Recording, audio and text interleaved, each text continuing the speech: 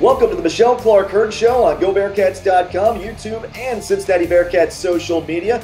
Joined now by Cincinnati women's basketball head coach Michelle Clark Heard. And, uh, Coach, I think we got to start this off just uh, talking about uh, how the uh, the challenges of 2020 and uh, just dealing with the, the circumstances of 2020 continue. Uh, your team now has had almost as many games either postponed or changed opponents as you've had total games on the season. We saw it again uh, this weekend. Fortunately, the ECU game was able to be moved from Saturday to Sunday, but it's always a case of be ready and be ready to adjust. Yeah, I think you said it right, and I think that's something that we're just trying to make sure as a staff that we're just uh, every single day just making sure that um, we're preparing our team and just talking to them about that and just making sure that they understand and know that uh, every moment we just have to be ready because there could possibly definitely be a change. So, uh, yeah, just was excited to have the opportunity to play the game uh, because that's what this team needs. We're growing every day, uh, and uh, you know, I just want everyone to keep remembering we sure lost a lot last year in those four seniors. Uh, and, you know, we're just getting better and better every day, and we just have to keep growing. And so, uh, just always, always a blessing to be able, uh, during this time, to be able to play. Uh, so I think that's something that, you know, we talk about a lot to our team, uh, to the players about just being grateful for the opportunity. So, um, and for us on the other end as coaches, we just got to continue to keep being patient and try to get better each and every day. Let's take a look at uh, that game against uh, ECU uh, on Sunday. Um, a, a, tough loss for your team uh, at home. This is an ECU team that uh, is much appreciated. And first, I think we have to give our compliments to uh, LaShonda Monk, who had a 30 point performance. And she's somebody who's really developed from being prime defensive player, not only in the league and nationally, but she's really upped her offensive game as well. Yeah, she's just a competitor. She's a big time player who always, like you said, uh, just defensively, just everywhere on the floor. And, uh, you know, she can shoot the three, she can get to the basket. She's a big, strong body, can finish. Uh, so, yeah, so uh, uh, hats off to her. She had a great game, uh, made some big, big plays at the end. you know, we were in the game and only down with three with a minute and 38, I think, on the clock. And, uh, you know, she's made big shots. She went to the free throw line, made free throws, and uh, again, that's something I feel like that we have to do. We have to clean up, uh, you know, our ability to make smart decisions and be a little more disciplined on the floor as far as not turning it over and committing fouls. I think also, you know, you talk about uh, opportunities. We also have to talk about uh, the opportunities that have uh, presented themselves uh, to, to some of your younger players. I mean, we knew that was going to be the case coming into this season with uh, that big senior class uh, that graduated. Um, it, it, kind of added to it uh, here on Sunday when you had uh, two starters that were out, both uh, Adea Moore and Destiny Hamer, and that allowed some minutes, some extra opportunities for a lot of your other young players. Yeah, and I take my hat off to them. a lot of those players haven't been in those positions before. you know, I had. Hey, let's just start first with Jaden Scott. How much she's improved and how she can just continues to get better and better. You know, she's a post player that can guard on the perimeter, can uh, switch off on a guard or a post. Uh, and it's just really elevated her game. So just really proud of her uh, and just how she's getting up and down the floor, how she's challenging herself to be better and better. So uh, the growth is incredible. And then, you know, Jillian Hayes, who, uh, you know, is just getting better and better every game, just a, strong, uh, you know, and can, is playing that guard spot, uh, but rebounds and just is uh, working really hard to just getting better and understanding the speed of the game. Yeah, we saw both of those players really uh, step up uh, here, uh, not only during that game uh, against the, Mar- the Marquette game as well. Central Michigan on the road. It seems like every game out there, they're setting some kind of new high, whether it's you know points per game, rebounds per game, minutes per game, and that that's what you want to see at this point in the season. We're only a handful of games in with all the, the adjustments that have gone along, obviously you're, just looking for that progress every time out.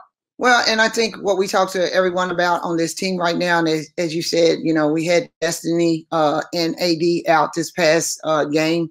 Uh, you just got to be ready when your number's called. And I'll, I'll, take my hat off to, you know, again, Sophia and Caitlin Wilson. And, you know, we had to play a lot of people and put them in different positions. And uh, to give them a lot of credit, they stepped up and did a lot of good things. And, uh, I know those minutes will continue to carry over and help them uh, along the way this season.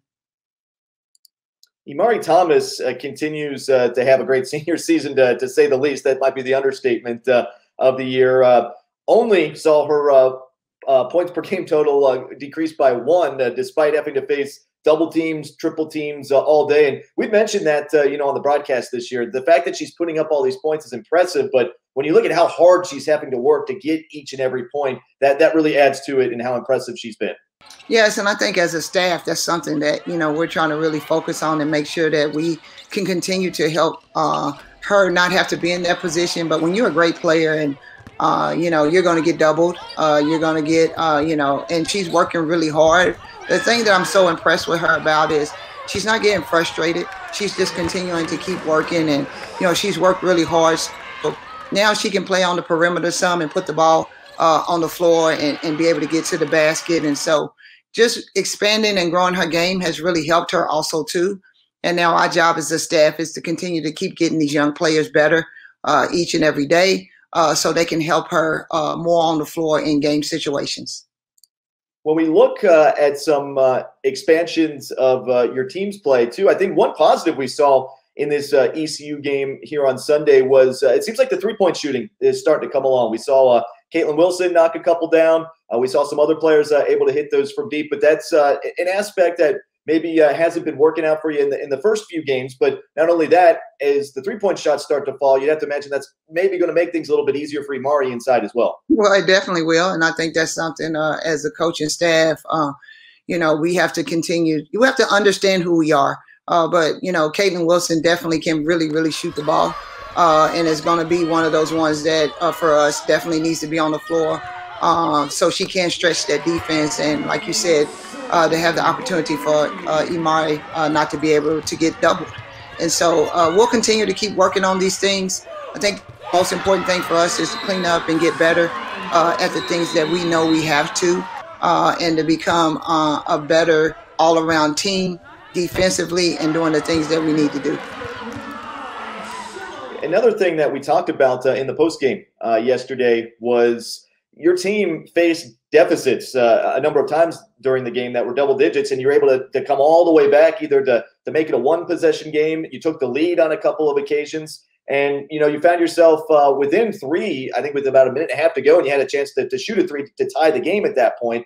I know not the result you were looking for, but for young players to to experience that early on, I imagine that has to, to be a positive for them to know, hey, we're never out of a game. We've done this before. Well, I think it's definitely a positive, and I think the biggest positive uh, is also too uh, is being able uh, to have Mari on the floor and talking with them and expressing to them about you know making sure that we do get the stops when we need to when they're huddling up on the floor. Uh, so I think it's really important, and I think it's just something that you know, uh, as a staff, we just have to continue to keep working on work on situations as much as we can in practice, getting them to understand, uh, you know, uh, how fast a minute and 38 can go on the floor. Uh, if you've never been in that position or you, you, don't understand that. And so, you know, we're trying to make sure that we can do uh, everything we possibly can in practice um, without practice players, but in situations where we can uh, get them prepared and ready now that we are about you know a handful of games in the season here, how do you think uh, your team has matured the most, has improved the most uh, from what you've seen? Well, I think uh, we just talked about it. I think about uh, you know the young ones that have faced like uh, a lot of uh, adversity early on. I think they've learned to be in a position where they continue to trust and just work hard. And our job is to continue to just keep helping them elevate their game. I think that's the most important thing. I think, um, you know, we just have to make sure that we're breaking the game down to get them to understand how close we really are. Uh, you know, uh, as you said, coming back and working really hard and then giving up uh, or fouling or giving up easy shots or, uh, you know, in that particular moment, not following the scout on a particular player. So I think all these things have, uh, we've gotten better uh, every game. Uh, but it, it's going to come a time where we got to now uh, start putting all of that together so we can get in the win column. I think another aspect uh, in which your team has improved that I know we've discussed this season is uh, just getting out to better starts uh, during games. We saw that you know the first couple games of the season. What you're you're going to see in most any year, sometimes the shots just aren't falling in the early games early on. Uh, but these last two games against Central Michigan and against ECU, your team did a lot better in the first quarter than we've seen in the previous games. Well, and I think it's something that as a staff, we're trying to make sure that we can put our pinpoint and put our finger on on what is that. Uh, we all know uh, Imari uh, Thomas is one of the best players, uh, you know, on the floor. So making sure that she get touch that she can get touches early. Uh, and then also just making sure that we're having some balance and making sure we have continuity going uh, in our offense. But the most important thing, we try to hang our head on defense, and uh, we're getting better. We still have to uh, be able to lock down and, and get more stops in that first quarter uh, because I think that's really important in how it sets the tone for the rest of the game. Well, for all of the all of us who have watched every game this year, I think it's pretty clear this team uh, already a different team than we saw in game number one against Northern Kentucky. And I'm sure with the young team that's going to continue to develop uh, throughout the season. So uh, look forward to following that. that is definitely our hope, and uh, that's something that we're working on every single day. Um, and I think the patience and uh, trust in the process uh, is something that I continue to keep saying to myself every day. Uh, I know um, as coaches, we always look at you know the wins and losses, and but at the end of the day, uh, I also, the staff and I just want to make sure that we're looking at our growth uh, and, and what that looks like, not only on the court, but off the court. Um, these young ladies have been through a lot. Um, you know, Tuesday uh, uh, be our last game before Christmas. Uh, and I'm looking forward to them uh, having a chance to go and visit with their families uh, because, uh, you know, we've been here on campus since June. Um, they've, they've done a phenomenal job uh, doing the things that we need for them uh, to do for we can have the opportunity to play. Uh, and so um, I just want uh, us to be able to keep uh, progressing and getting better. Uh, and so to be ready to come out here tomorrow against USF and, and, and put on a good put a good game plan together and be ready to go. Well, coach, speaking of USF, let's take a look at that game coming up tomorrow. Uh, the Bulls certainly have uh, put themselves kind of uh, with the target on their backs uh, at the top of the conference uh, with their performance uh, early in this season. A, a, big win over Mississippi State. They're a team that's you know kind of been there, done that over the last decade in the American, and it looks like after a year of, of having some some young players, the last two years they've kind of all matured together, as we saw with your team with that senior class last year. But they're rolling on all cylinders right now. They are rolling on all, all cylinders, and I think you said it said it right uh, you know, went back and uh, was watching the game, um, of course, from last year when we played here. And, uh, you know, just the ability, uh, like you said, for us as an older group, mature, more mature, had seniors on the floor, we found a way to gut it out and get that win. Uh, and like you said, they had uh, a lot of freshmen on the floor. They had some injuries. Uh, so now, like I feel like everyone uh, is going through a lot of similarities with the pandemic going on. Uh, but you know, now we're in that position with a young team. Uh, so I also understand and know um, that not only are we young and have a lot of new faces, I know we have uh, Mari, which is a great uh, situation to be in as a head coach. Uh, to have the preseason player of the year, uh, co preseason player of the year on your team.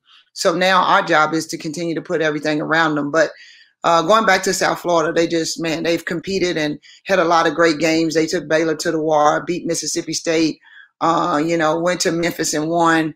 Uh, and they just have a lot of their guard play is phenomenal. They can shoot the three. Uh, they know they run a ton of sets. Uh, they know what they're looking for. Uh, they play the defense that he plays, and they just have that structure of what they do and they're really good at it. And so uh, you're going to have to make sure you take care of the basketball. You got to make shots. They make you make shots uh, the way they play. Uh, and then you got to make sure that you're guarding the three and guarding the, uh, the guards in transition. And they also have posts, and they're one of the best rebounding teams in the league. Yeah, always been a strength uh, of USF. You know, they're always going to rebound. You know, they're going to shoot the three. And uh, that's something they've been doing very well this season and has put them in the top 25. Well, uh, Coach, should be a good one uh, coming up uh, tomorrow at Fifth Third Arena. It'll be a 2 p.m. Uh, start time uh, for uh, those who want to tune in. we'll have the broadcast for you on ESPN Plus. a big game um, here coming up right before the holidays, and a chance for your team to get some momentum. Yeah, we're looking forward to it always. And like I said, just trying to get some momentum and go out of here on on a, on a good note for Christmas. Well, certainly a lot to be excited about given what we've seen in conference play uh, over the last couple years, and uh, a lot uh, to come here for this team this year. Well, Coach, we appreciate your time. Uh, always great catching up with you, and we will uh, see you at Fifth Third Arena tomorrow for the big game against USF. Thank you so much, and have a great day.